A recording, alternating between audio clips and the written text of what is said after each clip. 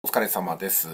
まあ、銭形警部がですね、やってきて、まあ、銭形平次のその子孫ということなんですけども、その銭形のとっつぁんがやってきてね、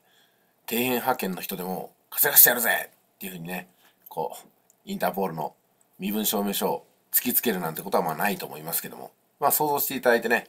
銭形システムってのが、もしね、お金のない人でも、その現状から救ってくれるとしたら、なんか素晴らしくないですか?で、今回ね、その、銭形平時システムと、まあ、いうふうに言われてるんで、銭形っていうふうにキーワードをつけるんですけども、なんとね、無料会員登録からでも稼げるそうなんですよ。で、私は無料会員登録してるんですけども、どういうことなのかなっていうのをこれから手探りで見ていこうかと思います。えそれから、ちょっと分かった時点では、何でもね、NFT を購入することもできるらしいんですよ。購入することもできるっていうのはどういうことかっていうと、例えば今出てるのが、あ14,722円 JPY って書いてあるでしょ？だから日本円で14,722円。つまり、米ドルで100ドル。ね、こちらの方の、えー、ゼニオっていう NFT を買うらしいんですよ。まあこの NFT っていうのは言ってみれば実体のない権利みたいなものなんで、まあちょっとパーになる可能性もね、やっぱあるわけですよ。こういったバーチャルなもの。まあでも、なんだかんだで、お金がかかるにしても、まあ1万5000円ぐらい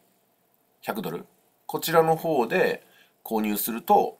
まあこれでも別の稼げる道が出てくるらしいんですよ。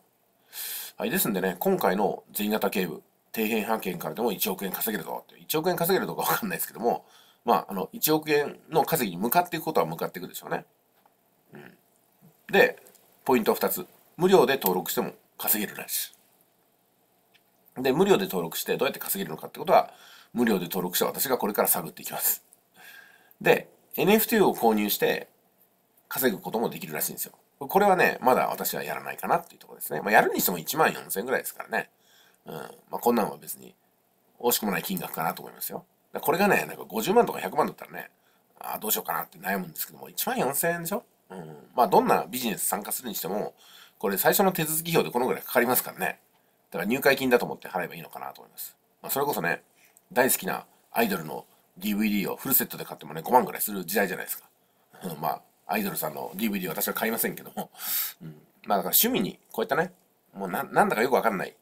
新しいビジネスに参加するのが趣味みたいなもんですよ、もうこの年になったら。うん、だからちょっとね、興味本位で参加してみようかなっていうところはありますね。でも、興味本位で参加はしますけども、もう私のことですからね、まあ、絶対に稼ぎにつなげていきたいかなと思います。そして、稼げた時点で、もしくは稼ぎの見込みがついた時点で、また